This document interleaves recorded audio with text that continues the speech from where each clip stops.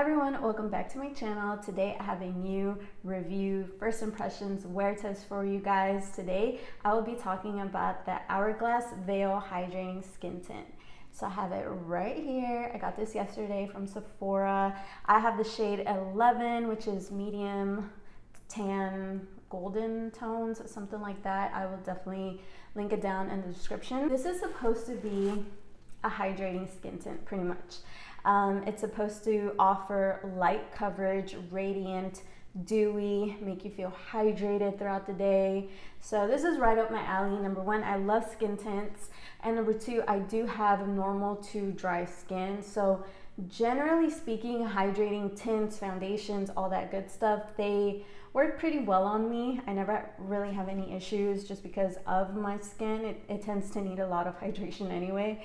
So yeah, I'm super excited to try this. I do generally really enjoy Hourglass products. This product doesn't have any claims that it's like smoothing or pore blurring or anything like that. It really just, the claims kind of tend to focus around it's gonna make you feel hydrated, dewy, nourished, all that good stuff. Um, light coverage, but there's no mention of blurring or anything like that. So I did go ahead and put primer. I actually put primer right here um, and on my nose.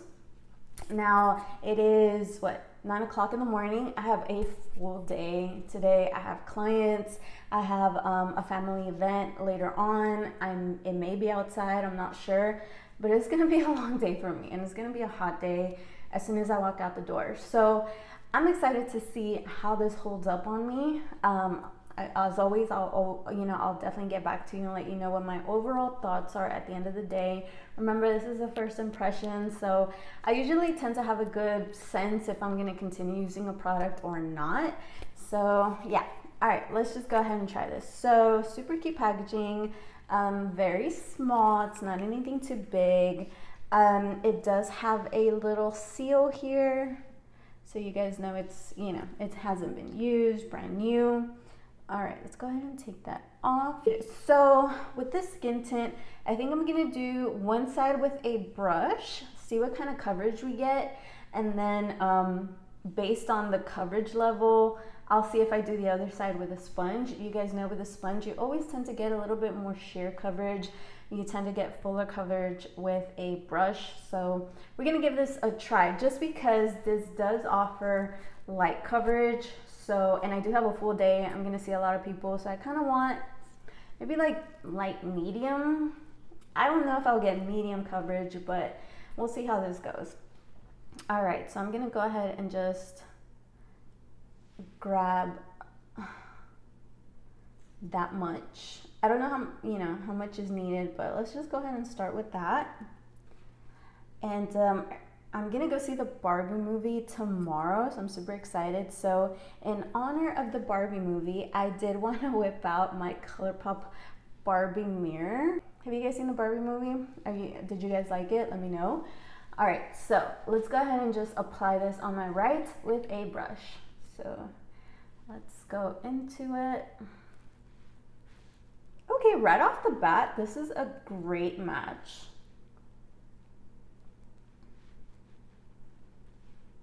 you guys know I like to dot my foundation on first and then I like to go in with my tool. Okay, so that's that. Pretty good shade match, I would say. Okay, let's go ahead with this brush. This is just a foundation stippling brush. This is from Morphe. It's kind of old. This is from like their gunmetal collection. Okay, let's just go ahead and start blending.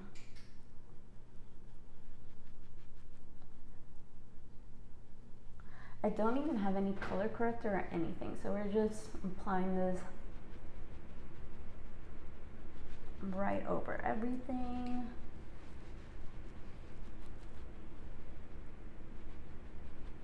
This is blending pretty easy, pretty flawless, no effort.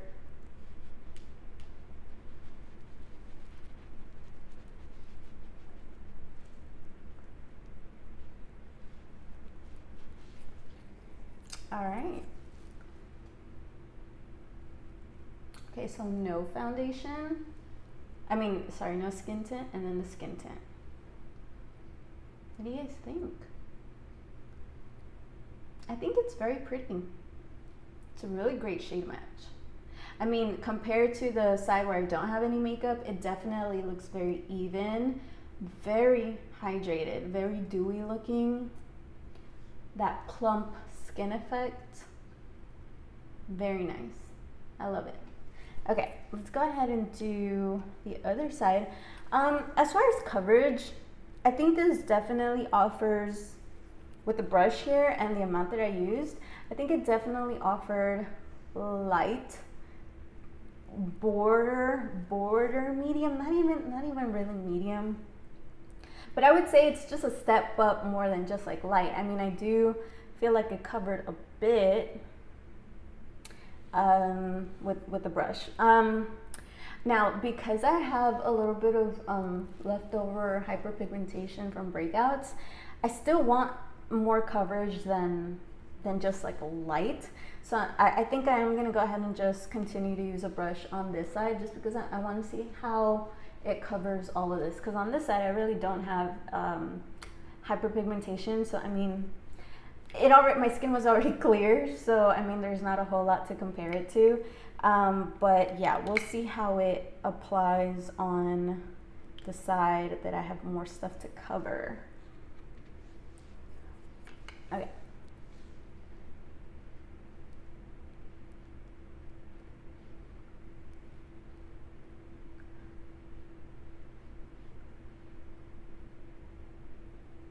I can't get over the shade match. It is such a good shade match, you guys.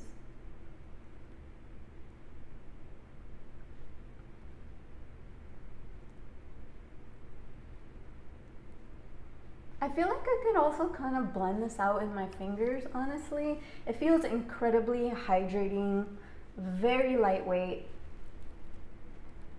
So I really feel like if I wanted to, I could definitely blend out with my fingers as well.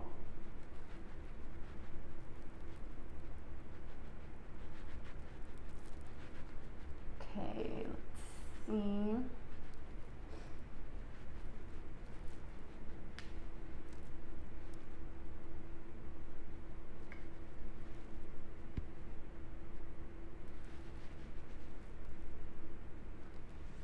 And I do have a little bit of a dark spot right here. Um, let me see if I can apply a little bit more.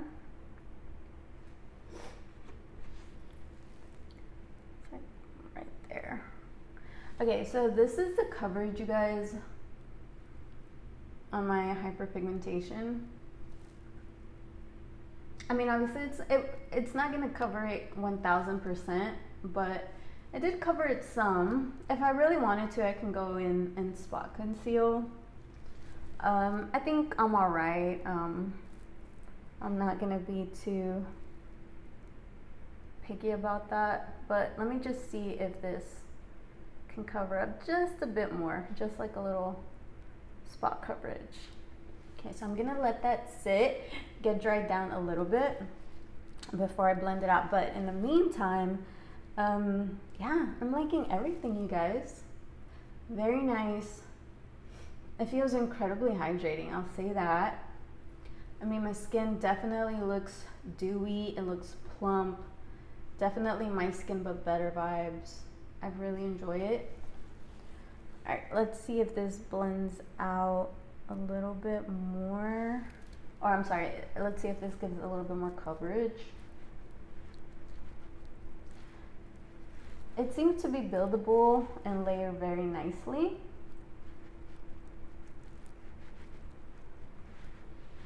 Okay, so that is what we're working with. I'm not gonna go ahead and add more. I think that's as good as it's gonna get as far as coverage.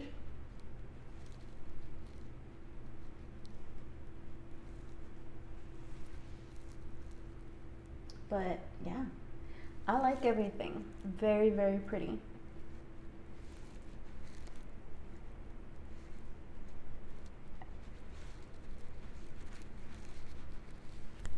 Really nice. Okay, well, all that's left to do is just really finish up the rest of my makeup. So I'm gonna do some color corrector. I'm gonna use the Hourglass concealer.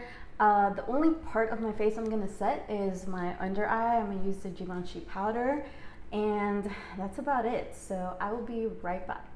Guys, this is my finished look for today. So um, I used my Hourglass concealer. I set that with the Givenchy powder. For blush, I was feeling very pink, very in a Barbie mood. So I went ahead and I used the Patrick Ta cream blushes. Um, I think I used two of the more bright poppy shades in his palette. Um, so I use that. Highlight is the Rare Beauty um, highlight and Exhilarate, I think. Um, for cream bronzer, I use a ColourPop bronze sticks. So everything blended over the hydrating skin tint flawlessly, like no issues, no skipping. Everything went on um, perfect. So I'm not gonna set this with setting spray or anything. I'm just gonna let it be. I'm just gonna ride it out all day. Again, I have a super packed day, seeing a lot of people, being out and about. Um, so I'll definitely let you guys know how this held up. But overall, you guys, like I'm, I'm really loving everything. It looks super pretty, I think. You know what? When I was kind of looking through my stash, something that kind of reminded me of this product that I've used before is, and I'm, I'm sorry, it's kind of like dirty. Um, is this Wet n Wild hydrator? I think it's called tinted hydrator. Yeah, this product, I've never, I don't think I've ever shown it, I've ever talked about it, um, but this is a few years old. It's from Wet n Wild. It has a, it has hyaluronic acid, squalene, non-greasy, sheer to medium. It's basically a skin tint, um, but they call it a tinted hydrator. But oh my God, you guys, this is a phenomenal dewy skin tint that actually delivers coverage um, it's not full coverage, it's not light, it's literally like if you just apply one like a little bit, it's light to medium. If you want to build on it, which you totally can, you can get to a very very low level of medium. Heck, maybe even medium if you continue to build it up. This is like, I don't know, maybe seven dollars.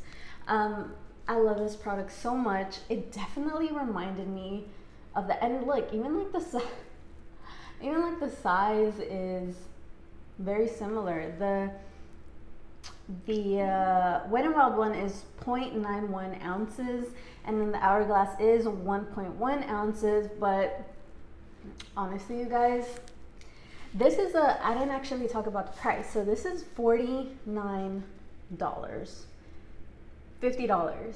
$50 for a skin tint um, but then again, Hourglass is a luxury brand, it's a high end brand, so I don't think we expected anything less than 40, honestly, even if it's just for a skin tint, not a full fledged foundation.